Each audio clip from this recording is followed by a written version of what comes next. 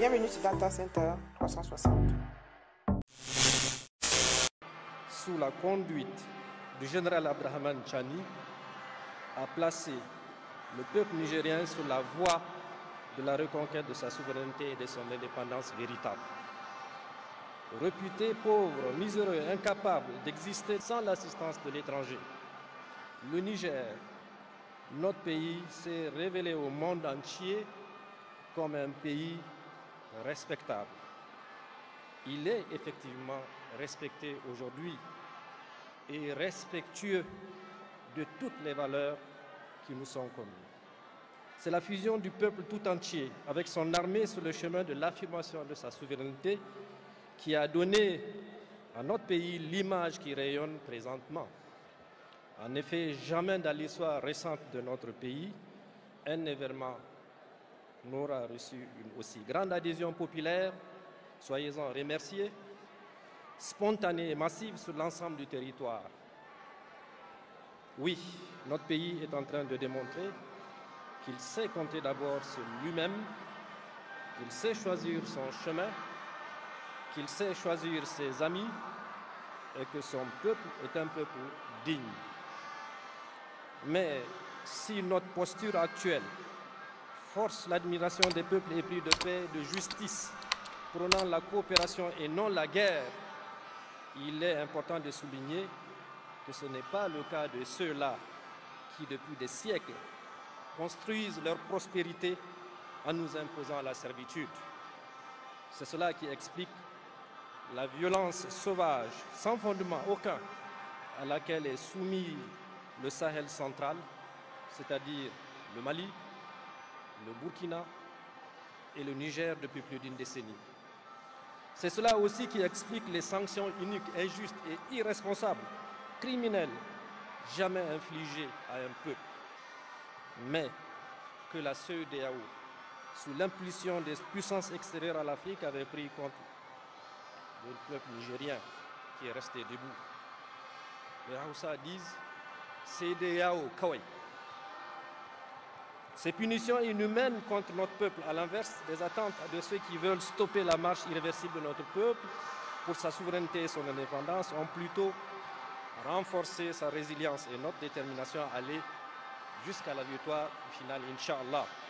Pour ce faire, nous avons puisé au fond de nos valeurs sociétales, à la surface des legs glorieux de nos dévanciers. En effet, souvenez-vous que dès la fin du 19e siècle, Sereunia Mongou Amadou Kourondaga, Kawisen Aktada, Amadou Dambassa, Lamenokal Firhoun, Idrissa Aloma et bien d'autres figures illustres dont nous sommes les héritiers et les continuateurs se sont battus pour défendre la souveraineté totale, territoriale contre les envahisseurs étrangers.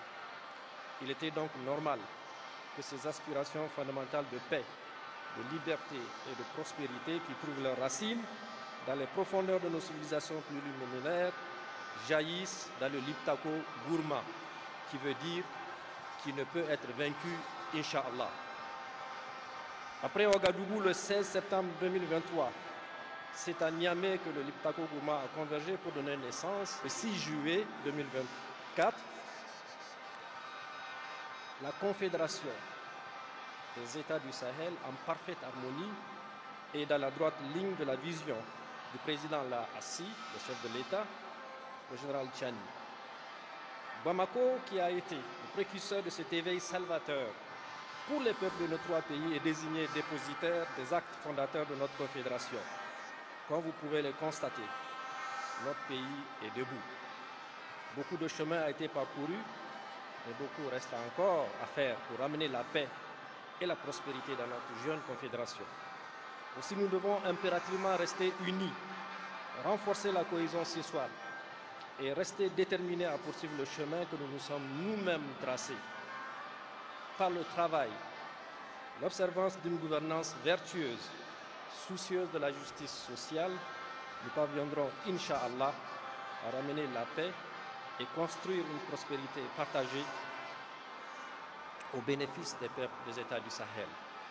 Nous avons confiance car les lendemains meilleurs s'offrent à nous, à nous tous, et les générations futures, Inch'Allah, se chargeront de poursuivre de construire dans la belle voie que nous le réglons.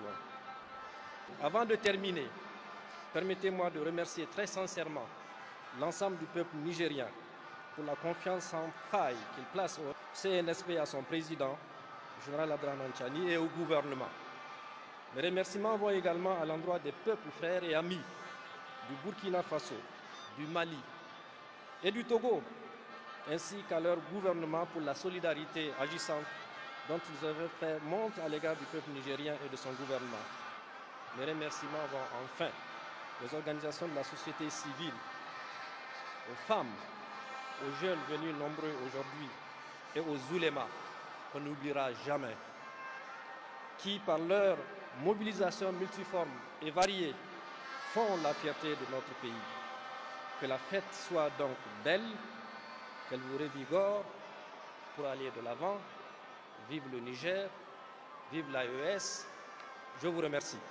Arriva enfin le moment tant attendu, à savoir le lancement de la dite Semaine nationale culturelle Al-Ada par le président du CNSP, chef de l'État, le général de brigade Abdraman Chani, à travers trois coups de toubol, instruments traditionnels dont l'importance dans la chefferie traditionnelle de Dessous n'est plus à démontrer. Thank you.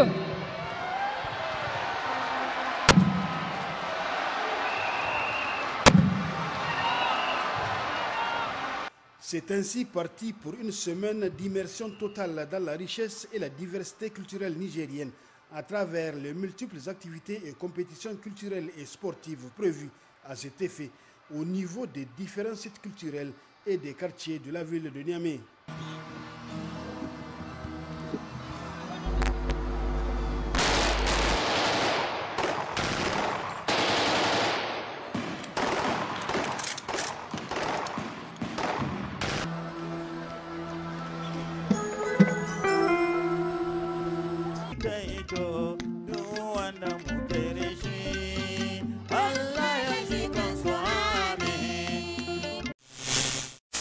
Télécharger notre guide gratuit sur l'éveil africain pour faire découvrir de façon ludique l'Afrique, créer des souvenirs et des moments de partage en famille. Le lien en description.